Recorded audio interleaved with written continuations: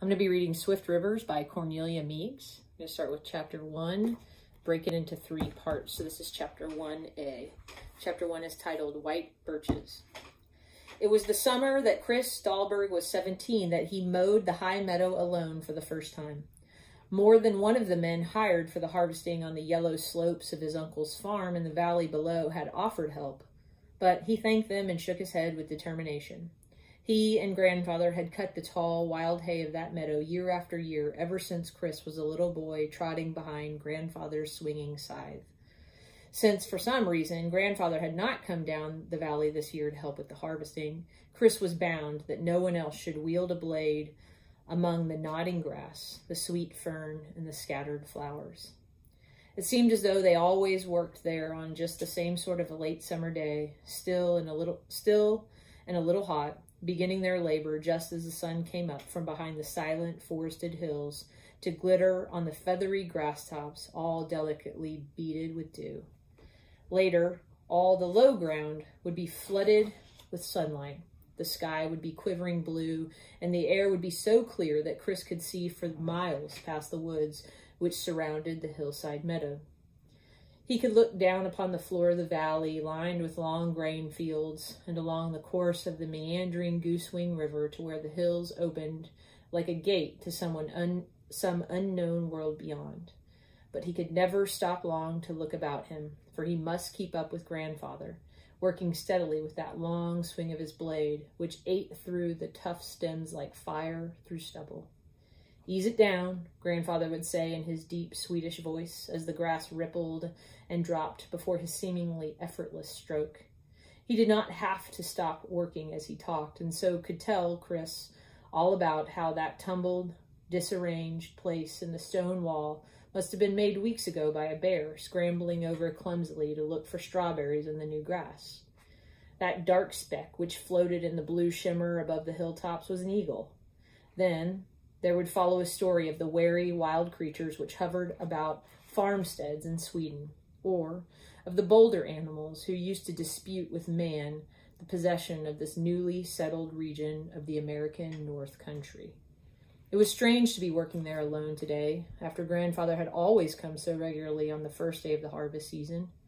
The dry hardness of Uncle Nels's voice seemed to take some of the sparkle out of the bright air of the summer morning when he said to Chris, setting out up the hill with his scythe on his shoulder, Old Alexis Dahlberg finds himself getting stiff and feeble at last, I expect, and not able to lend us a hand with the work any more. Well, get forward and take your gun with you.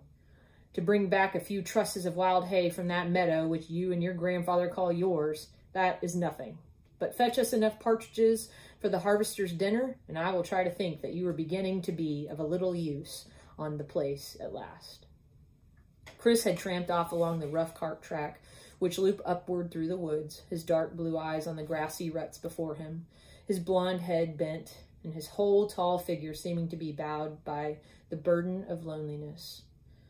Was grandfather really going to leave him alone now, to do his work as best he could under the unloving eye of Uncle Nels Anderson? When he came in sight of the little meadow, however, that bit of open ground cut out of the close-growing birch woods, he straightened suddenly and began to whistle. He leaned his gun against the wall, took off his coat, wetted his scythe to a perfect edge, and began. One, two, he took the long strokes with the smooth rhythm of a dancer. He knew instantly how much he had increased in power since a year ago. He was almost equaling grandfather's skill and, to his surprise, far exceeding grandfather's strength. It was well after mid-morning, with a third of the field already cut, that he stopped to rest for the first time. Just as he lowered his scythe, there broke into his thoughts the sudden noise of crashing and trampling amongst the trees beyond the wall, the headlong galloping of some big animal. A deer? An elk, even? No wild thing would ever make such tumult as that, unless it might be a moose, wounded and angry. But this was a horse, a slim, black creature with an empty saddle and a broken bridle, which came dashing through the thickets to leap over the wall. Chris had never seen a horse jump before. The good cart horses of Uncle Nels's farms would have been as incapable of such a feat as of spreading wings for flight. That beautiful lifting of the head and knees together, that quick, agile bound like a rabbit's, which carried the graceful animal over, where was there anything to be seen like it? The boy had seen deer leap like that, but deer were small and light compared with this glorious creature of grace and power. The horse stopped, wheeled, and stood for an instant knee deep in the flowery grass. In that second, a shot sounded from the wood, the sharp, thin crack of a rifle. Chris felt a strange, sudden jar, which went tingling up his arm. The bullet had not hit him, but had glanced against the shaft of the side and knocked it from his hand. With a snort of terror, the horse wheeled again and made for the lower stretch of the wall. Chris knew that to leap that barrier meant sure destruction, for just beyond it lay a long slope of rock, slippery with moss, and ending in an abrupt drop many yards below.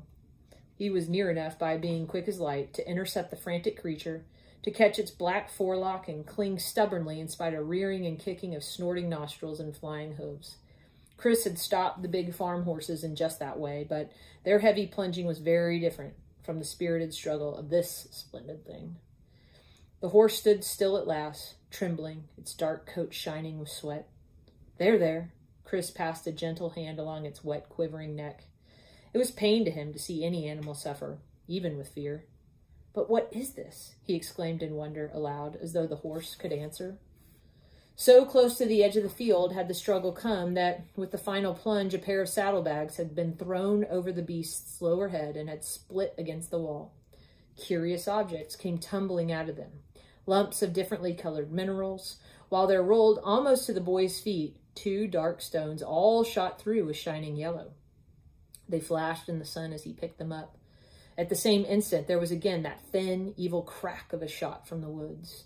A second bullet struck, with a vicious snick against the wall just behind him. He dropped the stones into his pocket and, in one long stride, he had re reached his gun.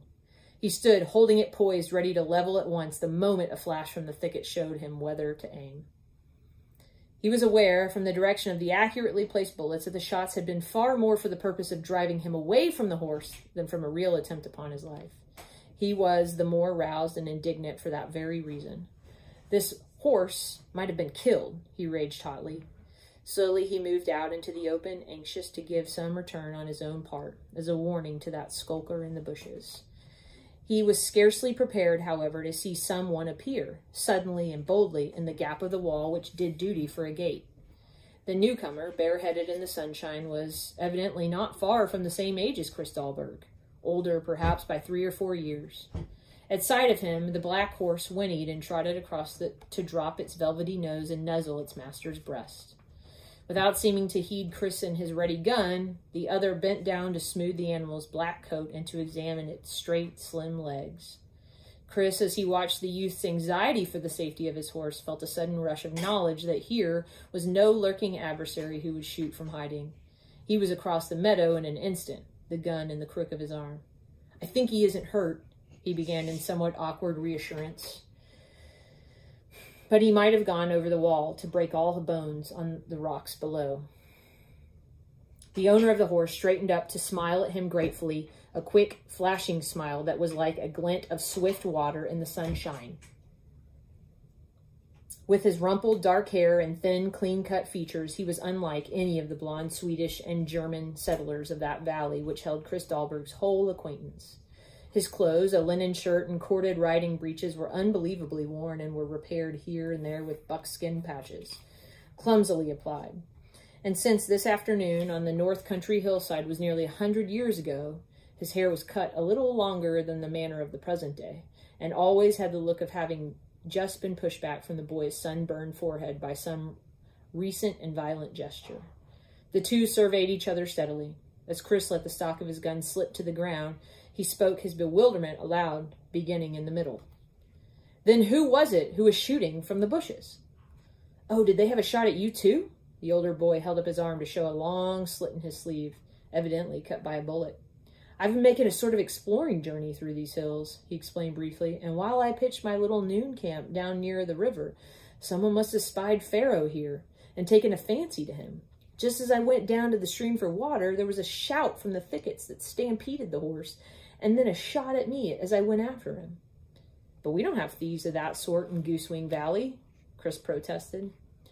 He had heard talk around the farmhouse table of the lawbreakers who drifted through thinly settled country, but who never had been heard of in this immediate neighborhood. This whole region was someday, to be the state of Minnesota, but was now only a northerly corner of that vast tract, the Louisiana Purchase, bought just 30 years after before by the bold wisdom of Thomas Jefferson. Even where settlement was older and closer than just here, there were no banks yet, or places for the safekeeping of valuables. Many a thrifty farmer's house might be worth robbing, or his choicest stock worth spir spiriting away.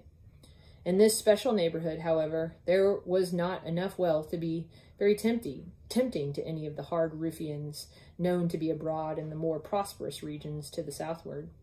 Bears got the colts, sometimes, and wolves had been known to run down the young sheep, but of human robbery there had been no record.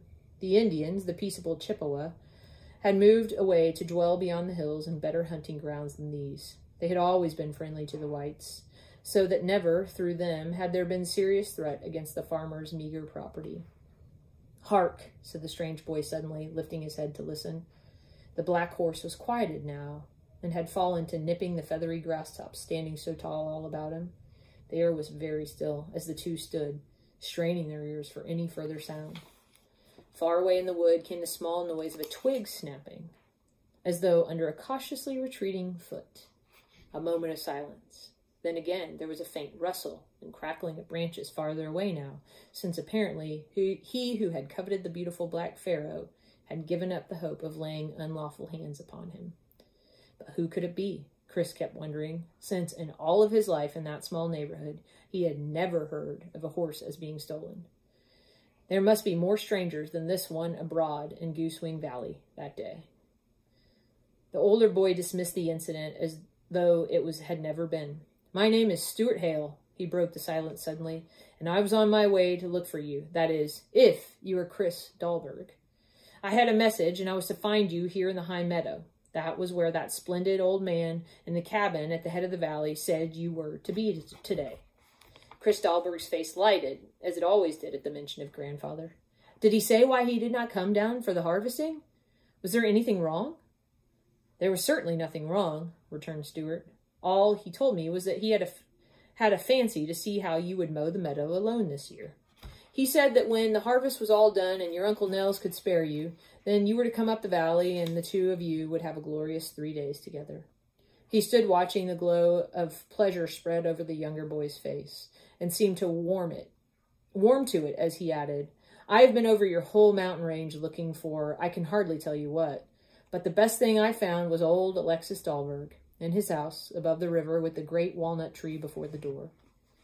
As though by common consent, the two walked together to the fringe of shade beside the wall and sat down upon the warm, rough stones. I came down the road by the river, Stuart went on, and asked the way to the high meadow of some men harvesting in a wheat field. The one who spoke to me gave me such scanty directions that I missed my way coming up the hill. We were hot and tired, Pharaoh and I, so I stopped to rest and water him, and that was how I came so near losing him. I believe from what your grandfather said that it must have been your Uncle Nels Anderson who told me how to go. Under his keen glance, Chris reddened. He could guess with just what surly unfriendliness Uncle Nels had turned away from the stranger who came seeking speech with no better than his nephew, Christian Dahlberg. I have lived with Uncle Nels nearly all my life, he began to explain lamely. There was a time of great sickness when I was little, and it took my father and my mother both. Just before he died, my father arranged with my mother's brother, that was Uncle Nels, that he should care for me until I grew big, and that I should work for him and help him until I was 21. It is so, I am told, that things are often arranged, both in the old country and this. My father trusted him, and Uncle Nels has kept his promise to give me a home. Grandfather lived here too for a while, but he and my uncle quarreled often, and at last grandfather went away to live on some forest land which belonged to him at the head of the valley. So that is chapter 1 through page 12. We'll continue with chapter 1b tomorrow.